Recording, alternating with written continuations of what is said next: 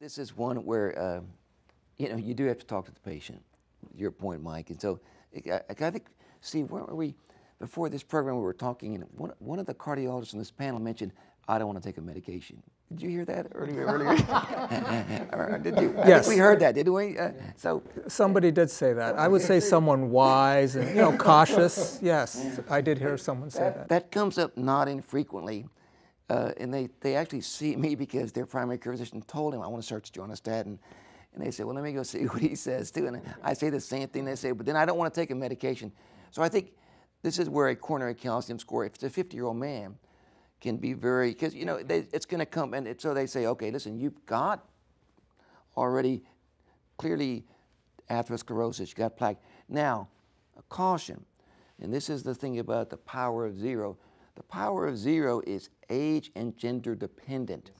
So this is a very important thing. If that's a 35-year-old man and he has a zero calcium score, that doesn't mean much of anything. And if it's a 35-year-old woman, she shouldn't have gotten a test uh, with it. So I think it's, you know, it's age dependent. So it, it, it is a useful test, but if you look at younger people, it's very rare to have calcium.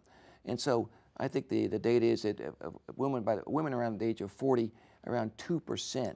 Does that mean 98% of women shouldn't ever be treated? Or, you know, it's the same thing for men, it's a small. So I think you have to be very cautious in terms of, of, of downgrading risk in a young person. Let me just mention one more thing, uh, and that is that we get these patients, of course, too, a lot of them in our prevention clinic who say, I don't want to take that, those terrible drugs, statins. And I am a stage of my career when I can take time with patients, not everybody can, and I will spend whatever amount of time I have to. I will actually give them the articles. You know, I will walk them through them. Uh, we will engage in you know what people sometimes call shared decision making, where I say, here are the facts. I will be very blunt with them that what they're reading on the internet is nonsense. I can use stronger words than that if I want to, but we can't because there's general audience here. And uh, Thank you for your and, restraint. And uh, and I just don't let up.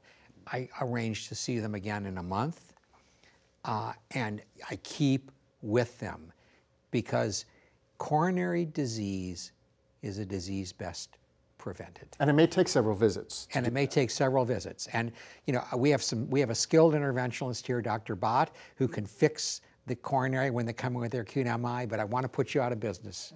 You know, I don't want you ever to have to rush somebody to the cath lab with a big anterior wall MI. And the way to do that is identify these people at risk. And I do not think the very conservative American guidelines are good enough. And I'll be very blunt about that. You know, I, have felt this for a long time that we can prevent this disease in a lot more people if we're willing not to have a very fixed and arbitrary. And frankly, the risk calculators don't even work very well. They've been shown to be inaccurate. And so you got to use common sense. You can't be an automaton that plugs everybody into an equation and it just determines what you're going to do. I had one question for everybody because I'm getting a lot of these kids now referred to me. At what age are you comfortable with starting a statin in, in, in, in patients with heterozygous FH? Seven or eight.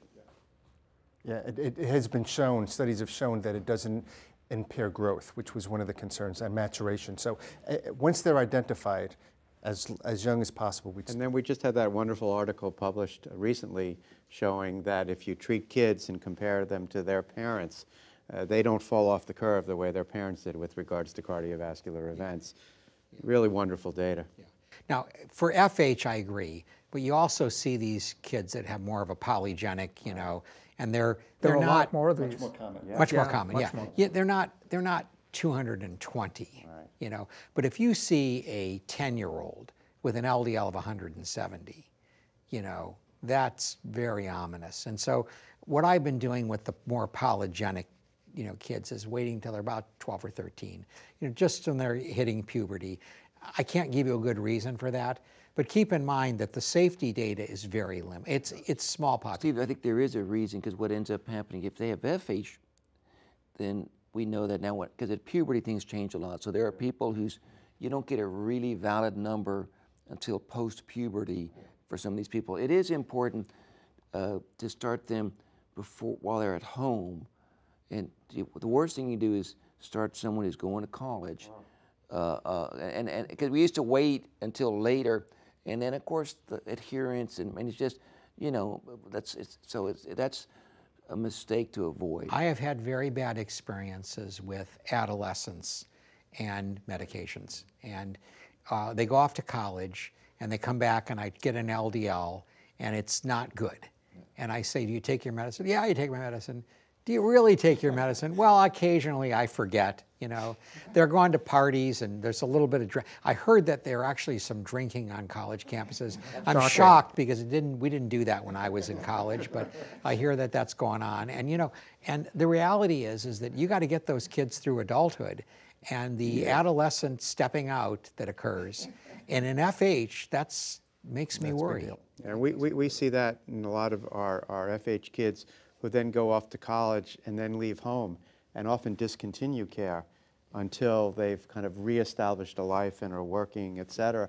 Partly because they've been on medications for so long and part of the family unit, they're, they're kind of spreading their wings, so to speak, and, and they need, they need to, to, to be kind of pulled back in with regards to treatment and, and aggressive therapy if they have FH. I have a fog talk with them. Fog means fear of God. and I basically say, look, you have, a, you have a curable but very serious disorder that can cause you to have a heart attack at a young age. No matter what happens, you need to remember this and don't go off treatment. And I tell them every time I see them, and I emphasize it, and I emphasize it. And I've been doing a little bit better, but it's not perfect. Yeah, no, it's an important point.